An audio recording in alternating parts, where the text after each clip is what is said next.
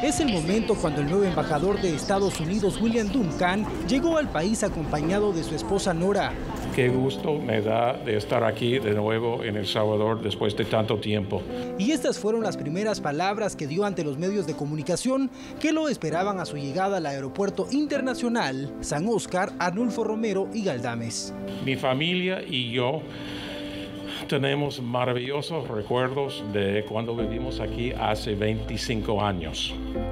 Se han cambiado muchas cosas, pero estoy seguro que la calidad humana que caracteriza el pueblo salvadoreño no ha cambiado nada, es constante. Es un sueño hecho realidad poder regresar a este bello país ahora como embajador de los Estados Unidos junto con mi esposa Nora. El diplomático fue juramentado en el cargo hace dos días en Washington, D.C.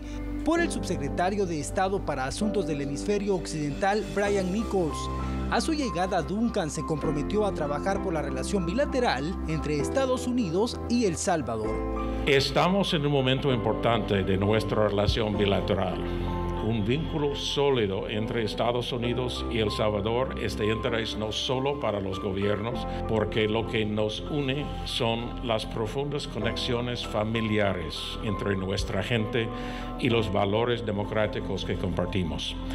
Mi compromiso es trabajar muy cerca y respetuosamente con el gobierno de El Salvador y el pueblo salvadoreño para desarrollar una agenda más amplia que promueve los valores que compartimos, la prosperidad y la seguridad que todos queremos.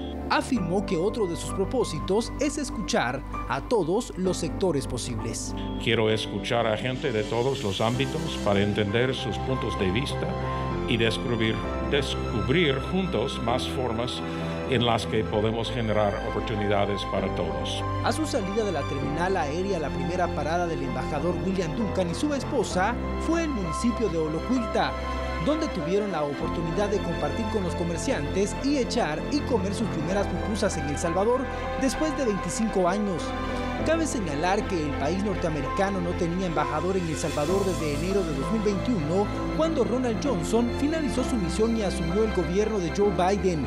Desde esa fecha la embajada estadounidense fue dirigida por diferentes encargados de negocios.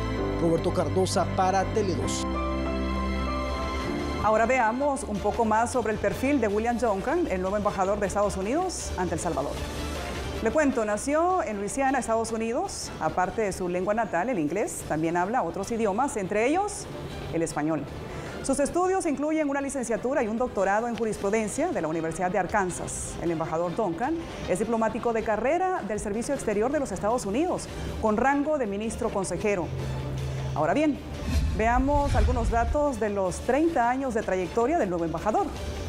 Ha sido cónsul general de Estados Unidos en Monterrey y ministro consejero en la Ciudad de México. También fue ministro consejero en las embajadas estadounidenses de Asunción, Madrid, Bogotá, San Salvador y Matamoros. Finalmente, ha sido director de la Oficina de Asuntos Andinos y ha sido o ha tenido cargos en las oficinas de, de, Asuntos Mexicanos, de Asuntos de África Oriental y de Asuntos Centroamericanos del Departamento de Estado.